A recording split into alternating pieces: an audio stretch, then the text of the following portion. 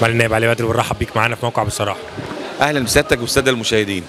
كنت بشارك النهارده في جلسة آه، آه، الحوار الوطني الخاصة بما بعد الطلاق حق الكد والسعاية النفقة وغيره.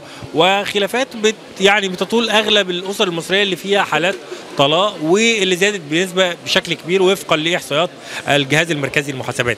إيه رأيك في الأفكار والأطروحات اللي سمعتها النهارده؟ وكمان كان في مطالبات سواء بتعديلات في قانون الأحوال الشخصية أو بالاعتماد على قانون جديد آه، من البداية.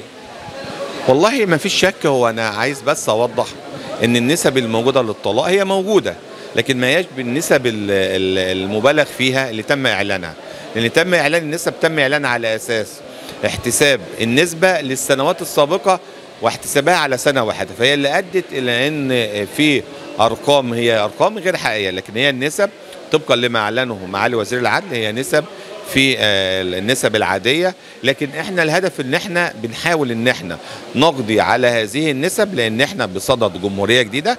فإحنا بنحاول إن نحافظ على التماسك المجتمعي وعلى الأسرة المصرية. الأسرة المصرية هي النواة الصلبة للمجتمع للمجتمع المصري. فعشان كده مشكلات ما بعد الطلاق وحتى من العلوان إن بعد الطلاق بتحدث مشكلات خاصة بالنفقة والطاعة والكد والسعي. فإحنا الأول بنشوف إيه سبب؟ بنحط إيدينا على سبب حدوث ال- السبب الأساسي لخلق هذه المشكلات. فبنشوف الأول الطلاق بنحاول نحد الأول من ظاهرة الطلاق على أساس إن إحنا تبقى هذه الظاهرة تبقى بنسب ضعيفة جدا عشان تقدر تحافظ على تماسك المجتمع المصري. الطلاق ليه أسباب؟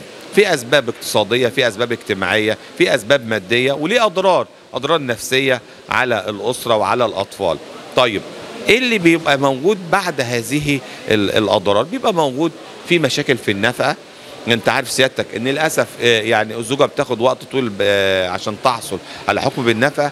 الوقت ده أنا ببقى عايز أحافظ على الأسرة على الزوجة وعلى الأطفال اللي في الآخر هم إيه؟ أسرة مصرية. طيب إزاي إن أنا بنطالب إن تمتد برامج الحماية عشان تشمل الأسرة لحين إيجاد مصدر آه، دخل تعيش منه الأسرة؟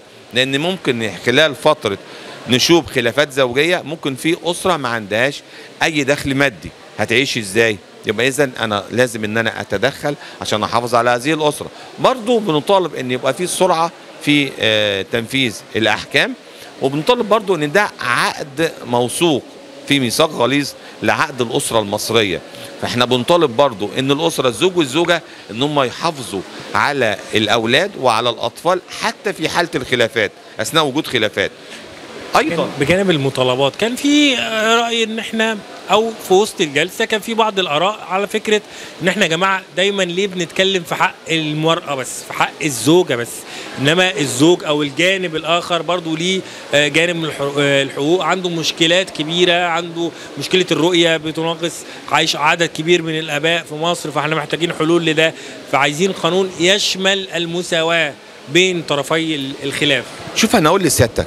إحنا الأول ناقشنا بعض الملفات منها قانون الوصاية على المال واللي وجه السيد الرئيس بحالة هذا الأمر للبرلمان عشان نوجد الحلول. النهاردة بنناقش إيه؟ بنناقش الطاعة وبنناقش الكد والسعاية وبنناقش النفقة. فهيبقى في جلسات لمناقشة هذا الأمر. لكن عايز أؤكد على كلام سيادتك.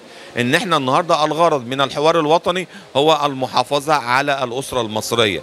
لا ننحاز لطرف على حساب طرف لكن في حقوق لأن المرأة هي الطرف اللي موجود اللي ما تستطيعش إن هي تحصل أو تعمل لكن الراجل يستطيع إن هو يعمل في جميع المجالات.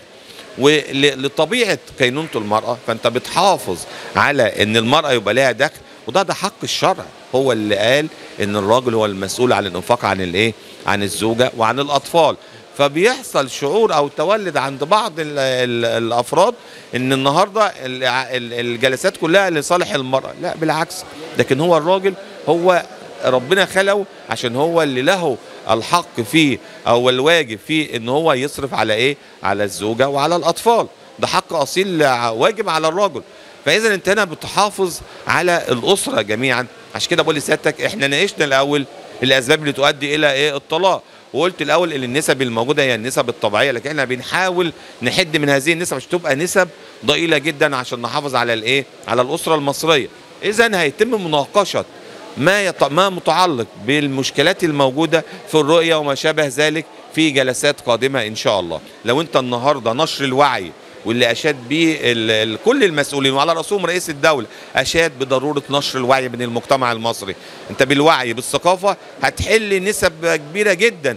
من من مش مشاكل الأسرة وبس لا مشاكل اللي موجودة في المجتمع المصري. اذا التوعية التوعية التوعية ونشر الوعي داخل المجتمع المصري هو الحق الأصيل والطريق الوحيد اللي أنت تقدر تحل بيه جميع الإشكاليات أو جميع المشاكل الموجودة. مش مشاكل أسرة بس لا جميع المشاكل الموجودة في المجتمع المصري. اذا علينا جميعا وأنا عايز أؤكد أن التوعية ليست مسؤولية الدولة لوحدها لا مسؤوليتنا جميعا. الإعلام النقابات المجتمع المدني ال- الإعلاميين كل جميع أفراد المجتمع مسؤولين عن نشر التوعية داخل المجتمع المصري. بشكرك جدا.